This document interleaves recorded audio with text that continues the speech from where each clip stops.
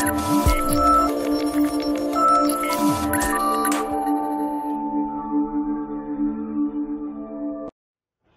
friends, welcome back to our channel. So in today's session, we'll discuss about one more program in Python that is how to convert the decimal value to the binary value. So we know all about uh, what is a decimal value, what is a binary value. Okay. So we know the binary representation means the representation with the help of uh, ones and zeros. Right. See. So if you want to represent some 5, it should be represented in a binary values that is 101 which is nothing but a binary equivalent of given decimal value. So this is called a decimal and this is a binary. Right. So we'll see the program how to convert this uh, decimal to binary. Right. We know the procedure to convert this decimal to binary. So if you take the decimal, we have to divide this number with a 2 so that so consider the rem remainder right so 2 2 times are 4 and the remainder is 1 and again continue the same process that means again divide that given result with a 2 so 2 ones are 2 it is 0 and we have to consider from lower to upper. So that means 1 0 1 so this is a binary equivalent. The same way we have to repeat the number. For example if you consider n n value as a 5 right? So first we need to divide that. So n mod 5 because in order to get the remainder we need to use the mod. So n mod 2 sorry n mod 2 and the remainder the remainder will be getting and that remainder will be appended to the list. We'll append that to list. One we'll take one list and we'll append that particular uh, reminders with one list. After that we have to get the number right?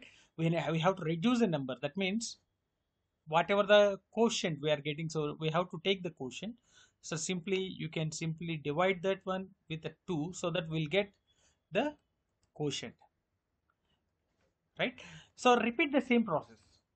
Repeat the same process until n not equal to 0 we have to repeat the same process until n not equal to 0 that means so now n value is 2 again we have to repeat the same. n mod 2 is equal to how much? Reminder.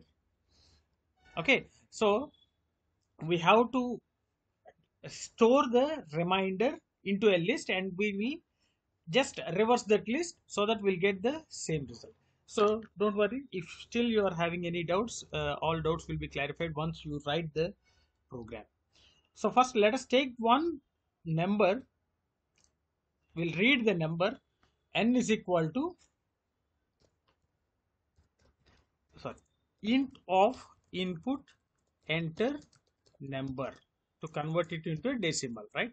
So after conversion of n so we have to store the reminders in a list right? So i'll take one list. So list is equal to list function. So it will give the empty list. And we have to repeat the process until n not equal to 0 until n not equal to 0 first we have to find out the reminder n mod 2 and we have to append that one. So r uh, sorry l dot append of r. L dot append of r. Now we have to reduce that one. N is equal to n floor division of 2 and simply if you observe this one if you if you if you give 5 as a number you will get see 1 0 1 that's a normal order right? See if it is a 6 0 1 1 but the binary equivalent for this 6 is 110 110 so we need to reverse that list. So before printing that one simply a list is having a reverse function. So it will reverse all the elements of the thing. So if you observe now we'll get 110 right? Hope you understood. The reminders all these are all the reminders. Right? Now instead of printing the list we'll print for uh, element in L. Simply print the element with end of end operation. So if you go with 6 we'll get 110 so if you give a 15 we'll get four ones. If you give 10 see 10 binary equivalent is 1010 so very simple logic. So we need to find the remainder when you divide that uh, value with a 2 and store all the reminders into a list and reduce the number right? So by floor division of 2 we have to reduce the number and we have to repeat the same process until the n value not equal to 0 and after completion of while loop that means whenever the n value becomes 0 now just reverse all the elements of a list because we need to consider the elements from top to bottom sorry bottom to top. So after finding the reminders we have to consider the we have to arrange the bits or arrange the reminders from bottom to top. So that's why we are just reversing that one. A list is having the reverse function.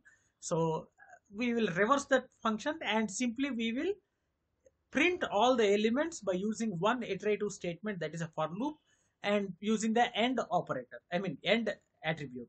So by using the end attribute the next outputs will also be appended to the current output. So all the elements will be printed in this way. So in the absence of end see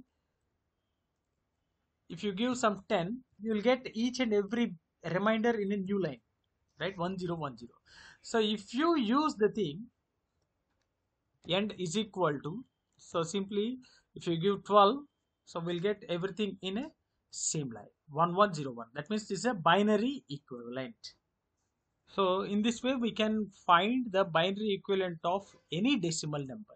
So if you give some 100 we'll get the binary equivalent of 100 right? For any number we can get the binary equivalent right? So hope you understood this one simple logic. And if you are having any doubts regarding this conversion feel free to post your doubts in the comment section. Definitely i will try to clarify all your doubts. If you really enjoyed my session like my session share my session with your friends. And don't forget to subscribe to our channel. Thanks for watching. Thank you very much